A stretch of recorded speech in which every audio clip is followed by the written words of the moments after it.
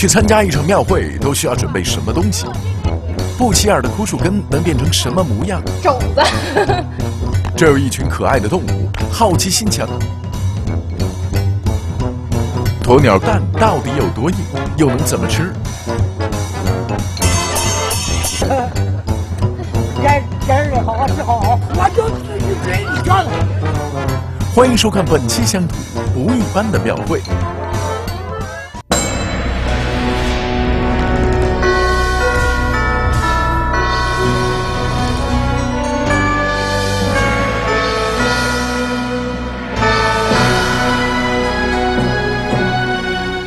您好，观众朋友，欢迎收看《乡土》。本栏目由小鸟电动车独家冠名播出。今天节目啊，我们要跟着编导去参加山西省长治市黎城县里的一个庙会。要说这不年不节的日子，开的哪门子庙会呀？我们的编导啊，也是听说这个庙会很奇特，不光有有趣的表演，当地人还要给泥塑梳头洗脸。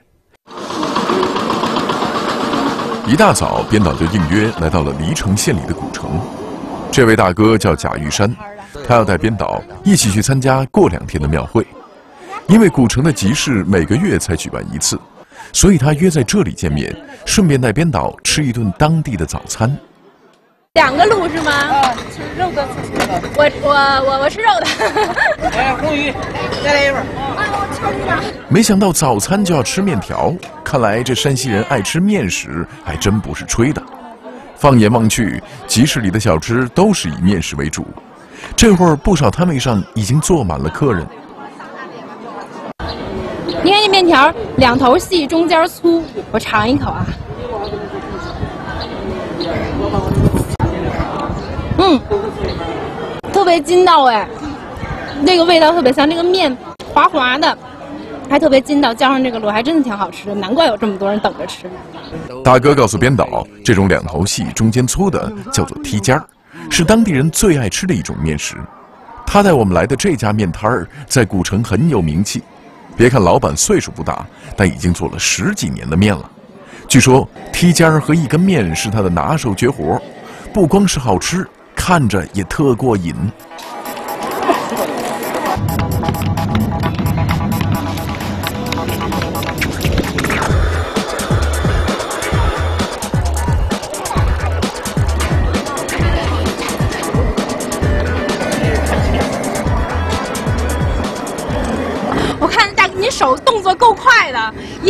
一下的，都看不清楚您的动作。您这个一下能就是拨多少呀？一百九十五根儿，吧？一分钟啊？对。一百九十五根，这个您算过这么精确？啊，算过。算过，嗯一百九十五根一分钟，那真的速度很快了。别说，就拿一根筷子，一秒钟剔出三四根面，手上没点功夫还真练不出来，吸引了不少观众的围观。瞧见没？这刚出摊儿没一会儿的功夫，锅里的面就一抢而空。那您现在要去哪儿啊？哦，我在前边定做了点东西，我要去拿。去拿东西是吧？啊，对，就是这家是吧？啊，这位在一地枯树根中左看右看的大哥，就是贾玉山的朋友苗奎宁，在古城里做根雕生意。对对对，尾巴对。这些枯树根看起来没有什么特别，但是在苗师傅眼里可是难得的宝贝。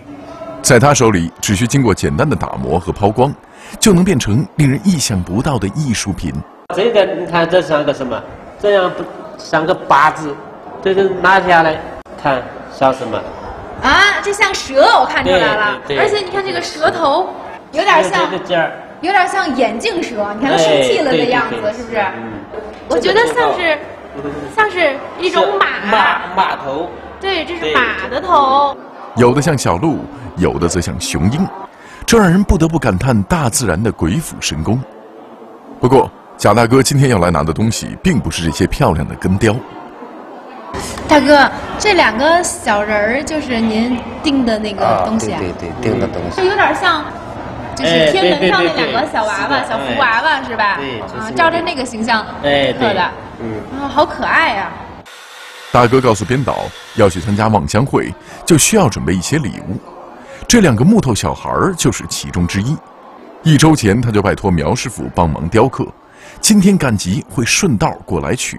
你看这一对儿，金童玉女，恭喜发财。嗯，是，这恭喜发财。大哥，您您您订这一对儿小孩儿用多少钱啊？一千挣一千，啊，挣一千。整一千啊！这编导本以为望乡会与过节的庙会差不多，就是凑凑热闹、看看表演的，没想到还要准备如此昂贵的礼物。难不成这个望乡会上还有什么重要的人物出现吗？去参加一场庙会都需要准备什么东西？不起眼的枯树根能变成什么模样？种子，这有一群可爱的动物，好奇心强。鸵鸟蛋到底有多硬，又能怎么吃？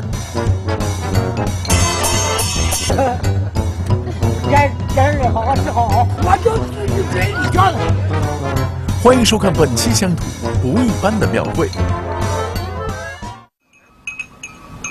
贾玉山家的家在石壁底村，距离县城有三十分钟路程，是个依山傍水、景色清秀的小山村。来到家里，大哥的妻子和两位婶婶已经在院子里忙活着。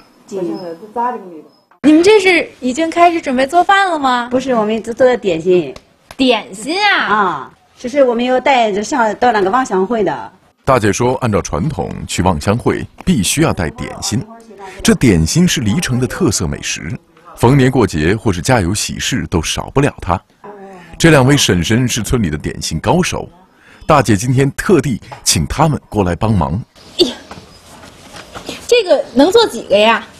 这个呀这个大的，两个小的。啊，这个就是一个呀，点心啊，这是一个这是发面吗？啊，发面面啊，那要出来得多大个儿啊？这个面吧，你把它好了，就是这么大这么大的点心，啊。你像这个吧，大的就是的这么大 这么大，哦，这么大。这这么大个儿的点心，编导还是头一次听说，而且怎么看都觉得这就跟做馒头没什么区别啊。在点心上锅蒸之前，还要用棉线在面团上画上十字，不知道蒸好以后会是什么模样。因为点心个头大，所以蒸的时间比较长。大哥大姐也是一分钟不得闲，说要趁着这个功夫去看看家里的小鸟们。你慢点啊！慢点，哇，好多鸵鸟啊！哇，我还是第一次见到这么多鸵鸟呢。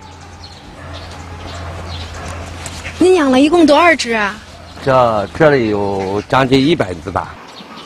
鸵鸟以前都是在动物园里能见到几只，可大哥居然在这小山村里养了这么多。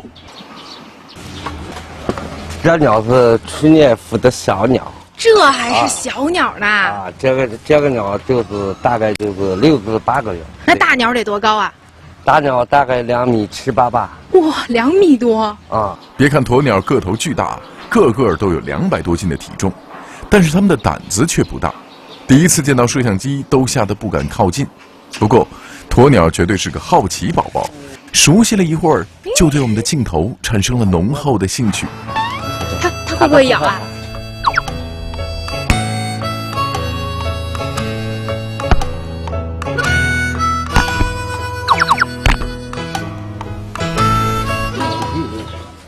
虽然鸵鸟长得很萌，但它的脖子和大腿都特别有劲儿，生起气来也很可怕，谁都不敢招惹它们。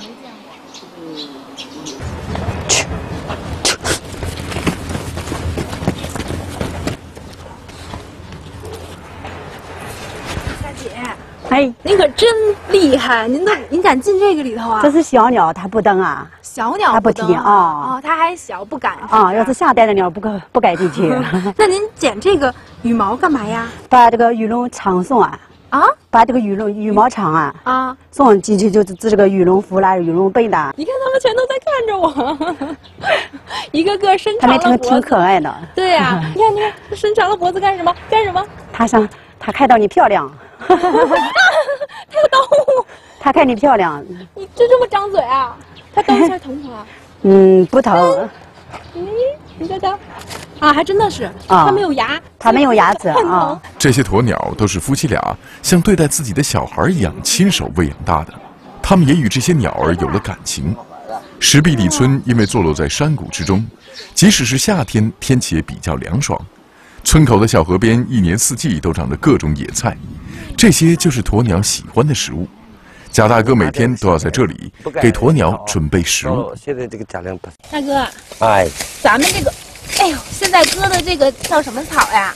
这个有河柴，啊有鬼地庙就这几种在河边长的这些草都可以是吧？啊，。对，都可以。您一天要割几次呀？我一天要割两次，两次。啊一次割多少斤呀？一次割五百斤。五百斤。啊那就是两次，您一天要割一千多斤的这个苗。啊、对对对对，哇，买点啊，不要割手啊。贾大哥告诉我们，以前他和妻子去外地打工，六年前回到村子里开始养鸵鸟。鸵鸟只吃青菜，非常好饲养。光是靠卖鸵鸟蛋和培育小鸟，一年就能挣个二三十万，生活富裕了不少。我们在这儿喂这个鸟，大姐叫我们小一点声，然后还不让我们过去，说你看那边立着的那个站在坑里的那只母鸟啊，要要要下蛋了是吧？。对，要下蛋了。那它一直不不蹲下，它就站在那儿坑里是什么意思呀？它看一看那个周围有什么石头没有，放下蛋来给我碰破碰不破。哦，它先考察一下地形。对对对。哦，看到了，看到了，看到蛋了。看到蛋了，出来了，出来了，啊，生出来了。哦。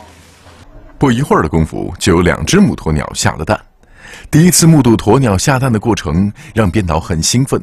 大哥说，去望乡会之前，他们要把所有的蛋都捡回家，一来防止别的动物偷鸟蛋吃，二来通过人工孵化，小鸟的成活几率也会更大。拖，哎，会不会碎呀、不会不会好沉呢、不会拖，往前拖。好紧张啊！捡鸵鸟蛋是个技术活儿，因为母鸵鸟不会让人接近它的蛋，所以只能用长长的杆儿把蛋取出来。这哎，个孵化了。看看有多大，跟脸比一下。这个是听大哥说，鸵鸟蛋是我们能见到的蛋之中最大的，壳儿也相当坚硬，能够承受一个人踩在上面也不会碎掉。因为蛋壳坚硬厚实，可以作为非常好的保鲜容器，同时还能制作成漂亮的工艺品。回到家里，热腾腾的点心也已经要出锅了。还挺好看的，都已经打开了这个花。哎，婶子，这个点这个红的是什么意思呀？点这个红的，就是也好看，它有喜气呀。哦，就为了好看是吧？哦，好看啊。啊，其实这个应该就是馒头，是不是？是啊，咱们那个开花的馒大馒头，就是呃，吃的这也叫个点心吧，也叫点心一看这花，你就好像开心那个是吧？啊，这去望乡会要带的东西都准备好了，大哥拿出来一颗鸵鸟蛋，要让编导和婶婶们尝尝鲜。您怎么做呀？我计划把它打开，烤一个，蒸一个。哦，平时看到的都是鸡蛋，这么大个儿的鸵鸟蛋打开是什么样子，还真有点想象不出来。倒使劲点倒使点劲儿哈。啊！哇！倒倒倒！那会不会哦？哦，好，咕咚咕咚，跟果冻一样。可是黄还没下来呢。倒倒。一个鸵鸟蛋相当于二十几个鸡蛋的量，做上五六道菜肯定是没问题。挺多的。听大哥说，鸵鸟蛋的营养价值很高，含有丰富的蛋白质和钙，味道又好，因此很受老人和小孩的喜欢。其实就是炒葱花蛋的是吧？对，葱花蛋。大哥做鸵鸟蛋的方法倒是和鸡蛋差不多，把蛋白中浓稠的部分盛出来做蛋羹，剩余的部分就拌上葱花，在锅里炒。快吃啊！一会儿凉了，吃一边吃，一会儿凉了就不好吃了。哦，哎，你看这浇上肉末以后，哎呦，我真没想到它是这种肉跟那个肉冻一样的，然后还弹弹的。你看，你看，好弹弹的，好吃吗？您着急了，着急了，您尝尝，您先尝。哎呀，我尝尝，婶子饿了，怎么样？好吃不？好吃，味道不错。味道不错，真好吃一看就是饿了。嗯不行，我也得尝尝。我先尝尝这个，嗯，很嫩的这个蛋哈，好吃好吃。它那个蛋味儿很浓，味道还是不错的。嗯，我再尝尝这个。你看这个果冻一样的弹弹的，然后再加上肉末调味儿，嗯，好，不错，它很滑，好吃吧？好吃好吃，它很滑，嗯，很香很嫩，特别的滑，倒真的有点像吃果冻那种感觉。听大姐说，准备好的点心和礼物都是要送给望乡会小奶奶的。两县人们去参加望乡会，也都是要去看她的。这让编导对这个小奶奶很好奇，不知道到底是何许人物。终于到了望乡会这一天，一大早，编导就和贾玉山一家赶往庙会。这望乡会举办的地方在广智山上，是太行山的高峰之一。虽然地方远，但是也没有阻挡大家的热情，很多人都早早的就赶了过来。望乡会据说已经有两百多年的历史了，每年的农历四月开始，要在这里举办三天，而今天是三天中最隆重的一天。不仅仅黎城的人赶来参加，旁边的襄垣县也会有不少人专程过来，所以显得格外热闹。此时仪式还没有正式开始，庙外面的戏台前已经聚集了很多人在看表演。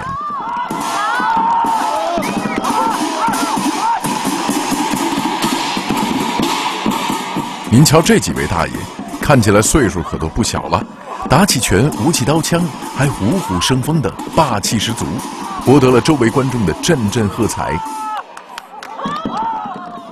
大爷，你们太棒了！您今年有多大岁数啊？八十，八十。您打的这个是什么拳呀？大红拳，大红拳。八十。红袖拽个红。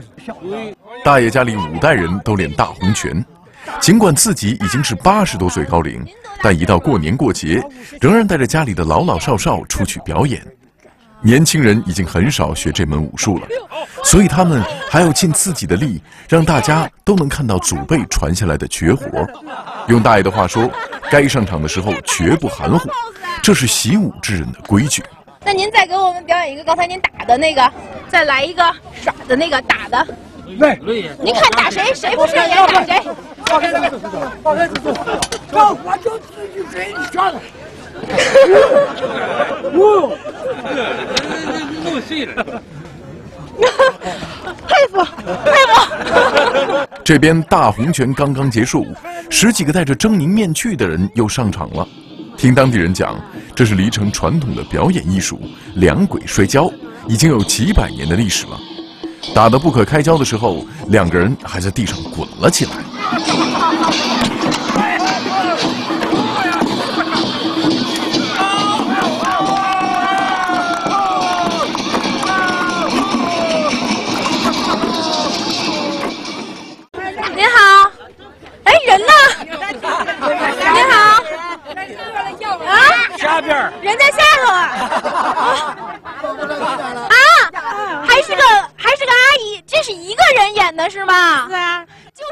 这面具一掀开，把编导吓了一跳。原来这个表演都是由一个人独立完成的。刚才是您在地上打滚呢，啊是不是？对对对对是我我累不累？呀，累很累，这个是我很累。您多大岁数了？我五十二了，五十二了。哇，您演这个有多长时间了？演出有了六七年了。看几位叔叔阿姨都表演得很精彩，编导也想尝试一下。你走趴下，趴下就可以了。哦，这样是吗？哦那 我要一直撅着。哦，对，是的，我会。趴下跪着。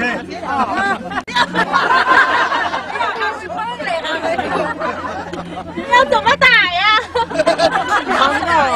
前腿，后腿跪下。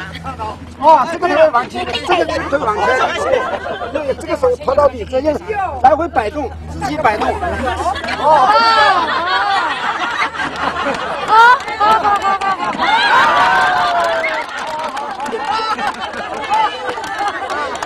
看起来，对对对对，这就行了，就是这样。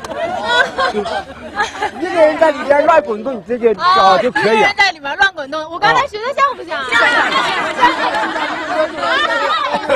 这个表演看起来轻松，实际上可一点都不简单。背上这套道具不仅沉，人是在里面什么都看不见，只能凭感觉和经验来表演。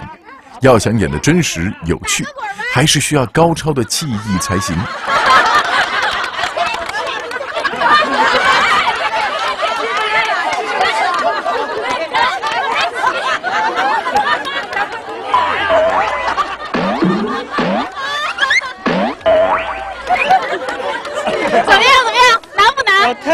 了，下去就起不来了。去参加一场庙会都需要准备什么东西？不起眼的枯树根能变成什么模样？种子。这有一群可爱的动物，好奇心强。鸵鸟蛋到底有多硬？又能怎么吃？眼眼儿好好吃好好，我就自己给你干。欢迎收看本期乡土不一般的庙会。去参加一场庙会都需要准备什么东西？不起眼的枯树根能变成什么模样？种子。这有一群可爱的动物，好奇心强。鸵鸟蛋到底有多硬？又能怎么吃？眼眼儿好好吃好好，我就自己嘴里讲。欢迎收看本期乡土不一般的庙会。庙会有趣，但是编导也没有忘记小奶奶的事情。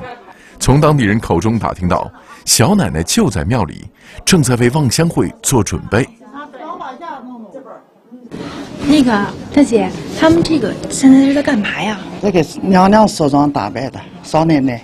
啊，在给小奶奶哦，我们当地是叫小奶奶。啊啊，要梳妆打扮，我看就是把以前旧的全都给哦打扮脱掉了。啊，对，给你换娘家带来新衣服，换新的。娘家是不是？对。原来人们口中的小奶奶就是眼前的这个泥塑人，金色的面孔栩栩如生，看起来倒是个眉清目秀的小姑娘。可这泥塑人到底是什么人？为什么能够让这么多人专程来这里看她呢？我请问一下，就是说那个小奶奶的娘家人来了，哪位是？您是是吧？嗯，这是正根。那您是从哪来呀？襄垣北关。从襄垣北关村是吧？啊，他叫王雪梅。啊，他是个真人是吧？对，真名叫王雪梅。对。啊。啊，我父辈们已经传下来，传是这种。啊。他跟您就本身有关系吗？他，本身是呀，祖辈关系了吧，只能说啊。等于我在我家当成了，这是第十九代的传人。哦，您是他的后人是吧？对。没想到这小奶奶还确有其人。根据传说，她是襄垣一个王府家的女儿，因为爱上了黎城一位放羊的小伙子，于是偷偷来到广志山见心上人。没想到还没有见到心上人，就死在了这里。后来，黎城襄垣地的人们有感于他对爱情的忠贞，就在这里给他塑了像，把这一天当他和心上人结婚的日子。黎城跟襄垣就是亲家嘛，到了一一起就是不说闹话，闹了也不不烦恼。原来是因为这个小奶奶，嗯，她她的这个故事让两边的人就是变得很和气。哦，一代一代传下啊。每年到这个时候，两地的百姓都会到这里。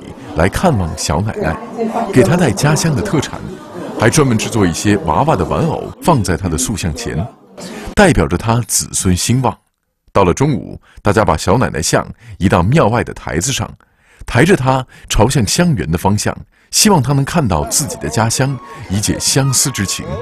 小奶奶的这段爱情故事，一直在黎城襄垣两县百姓之间流传，反而成就了两个县城的一段姻缘。让两地人们之间越来越亲近，彼此之间的交流越来越多。好，今天的节目就到这里。每天收看我们农业节目的朋友们，我们在这里要提醒您，记得拿起手机，打开微信，点击发现摇一摇摇 TV，获得惊喜福利。如果您想了解更多节目信息，请登录我们的官方网站农事网以及农事网的官方微博、微信手机客户端，也可以登录央视网查询浏览。欢迎广大观众和我们交流互动，我们会认真阅读您的每一条留言。今天的节目到此结束，我们下期节目再见。花季少女如何举行成人礼？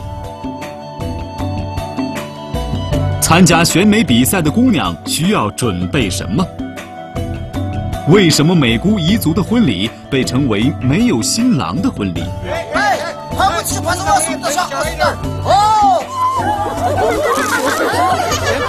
下期乡土带你走进凉山彝族自治州，感受多彩凉山的彝家风情。